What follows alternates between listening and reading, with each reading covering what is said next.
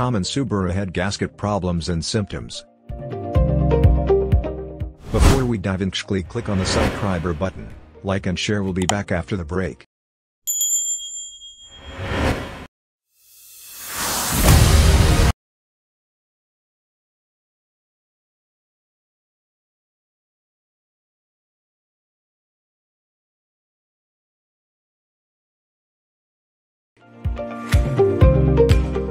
Subaru cars are great cars and people love how they handle the snow and the adverse condition.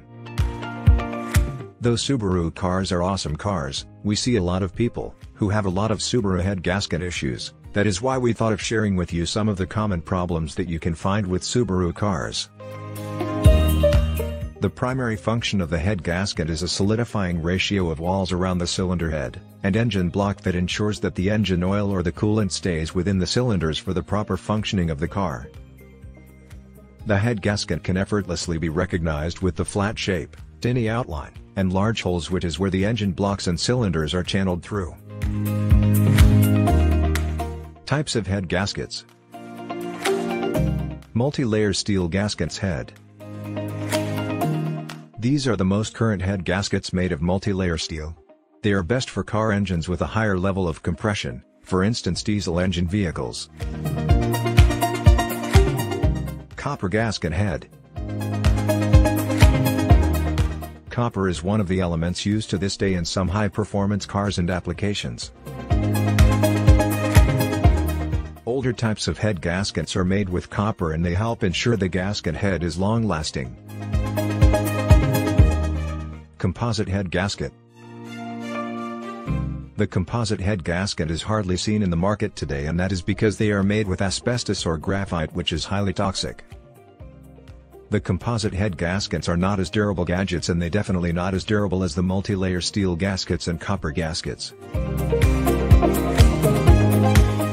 Symptoms of Subaru head gasket issues First, you will find or notice oil dropping down between the head and the engine block surface.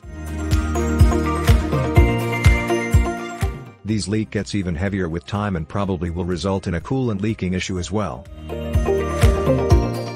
Option 2 is that you might perceive a sulfur or fuel smell from the coolant tank or reservoir.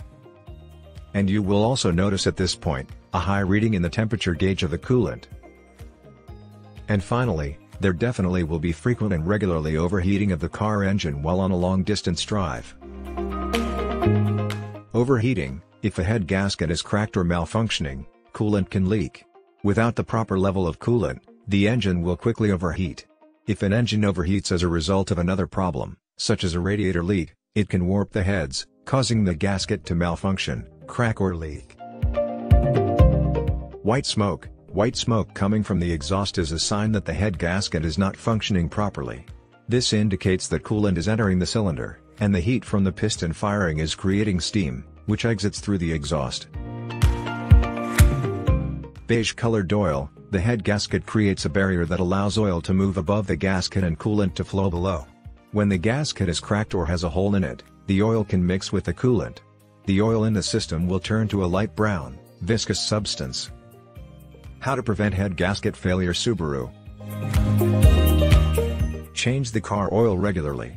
See recommended here on Amazon.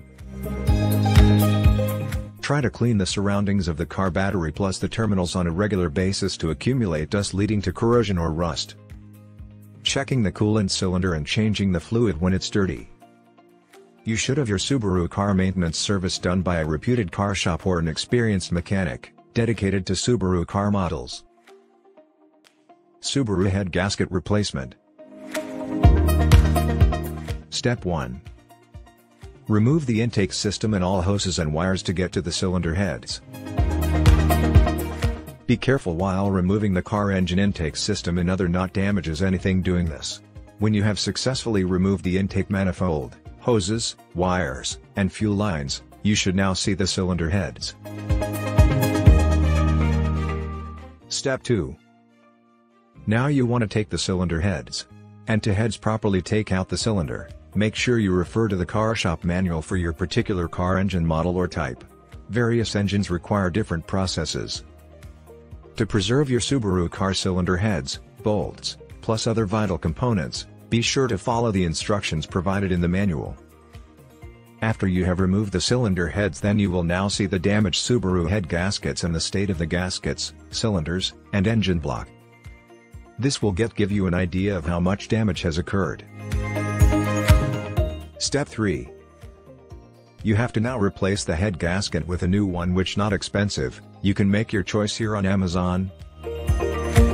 I hope this video was helpful, please don't forget to click on the subscriber button, like, and share for more videos.